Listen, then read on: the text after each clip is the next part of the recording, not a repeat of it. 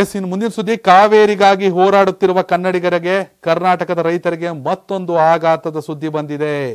ತಮಿಳುನಾಡಿಗೆ ಮತ್ತೆ ಹದಿನೈದು ದಿನಗಳ ಕಾಲ ಮೂರು ಸಾವಿರ ಕ್ಯೂಸೆಕ್ ನೀರು ಬಿಡಲು ಕಾವೇರಿ ನೀರು ನಿಯಂತ್ರಣಾ ಸಮಿತಿ ಅಂದ್ರೆ ಸಿಡಬ್ಲ್ಯೂಆರ್ಸಿ ಶಿಫಾರಸು ಮಾಡಿದೆ.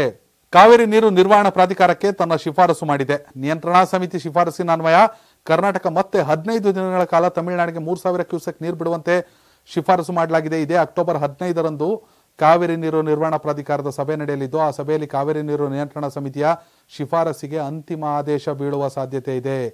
ಮಳೆ ಹೆಚ್ಚಾಗಿರುವ ಪ್ರಮಾಣ ಆಧರಿಸಿ ನೀರು ಹರಿಸಬೇಕು. ಪ್ರತಿದಿನ ಹದಿಮೂರು ಸಾವಿರ ಕ್ಯೂಸೆಕ್ ನೀರು ಹರಿಸಬೇಕು ಎಂದು ಸಿಡಬ್ಲ್ಯೂಆರ್ಸಿ ಸಭೆಯಲ್ಲಿ ತಮಿಳುನಾಡು ಅಧಿಕಾರಿಗಳಿಂದ ವಾದ ಮಂಡನೆ ಮಾಡಲಾಗಿದೆ. ಸಭೆಯಲ್ಲಿ ಕರ್ನಾಟಕ, ತಮಿಳುನಾಡು ಅಧಿಕಾರಿಗಳು ವಿಡಿಯೋ ಕಾನ್ಫರೆನ್ಸ್ ಮೂಲಕ ಭಾಗಿಯಾಗಿದ್ದರು. ಇನ್ನು ತಮಿಳುನಾಡಿಗೆ ಕಾವೇರಿ ನೀರು ಹರಿಸುವುದನ್ನು ವಿರೋಧಿಸಿ ಕರ್ನಾಟಕದಲ್ಲಿ ಪ್ರತಿಭಟನೆಗಳು ಮುಂದುವರೆದಿವೆ.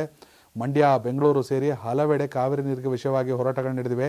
ಈ ವಿಚಾರವಾಗಿ ಬೆಂಗಳೂರು ಮತ್ತು ಕರ್ನಾಟಕ ಬಂದ್ ಕೂಡ ಮಾಡಲಾಗಿತ್ತು.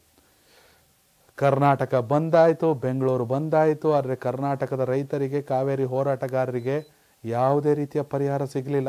ಆಘಾತಗಳ ಮೇಲೆ ಆಘಾತ. ಇದೀಗ ಮತ್ತೆ ನೀರು ಹರಿಸಬೇಕು. ಹದಿನೈದು ದಿನಗಳ ಕಾಲ ಮೂರು ಸಾವಿರ ಕ್ಯೂಸೆಕ್. ವಿಡಿಯೋ ಕಾನ್ಫರೆನ್ಸ್ ಮೂಲಕ ಚರ್ಚೆ. ಅದು ಯಾಕೆ ನಿಗದಿ ಆಗಿತ್ತು ಮುಖಾಮುಖಿ ಯಾಕೆ ಭೇಟಿ ಆಗಲಿಲ್ವೋ ನಾವೆಲ್ಲರನ್ನ ಟೀಕ್ಸೋದಲ್ಲ. ಯಾಕೆ ಮೇಲಿಂದ ಮೇಲೆ ಹಿನ್ನಡೆ ಆಗ್ತಾ ಇದೆ?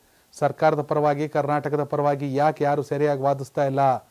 ಕರ್ನಾಟಕವೇ ಬಂದಾದರೂ ಒಂದ್ಸಲ ಫಸ್ಟು ಬೆಂಗಳೂರು ಬಂದು, ನಂತರ ಕರ್ನಾಟಕ ಬಂದು. ಪರಿಹಾರ ಮಾತ್ರ ಇಲ್ಲ, ನೀರು ಮಾತ್ರ ಬಂದಾಗ್ತಾ ಇಲ್ಲ.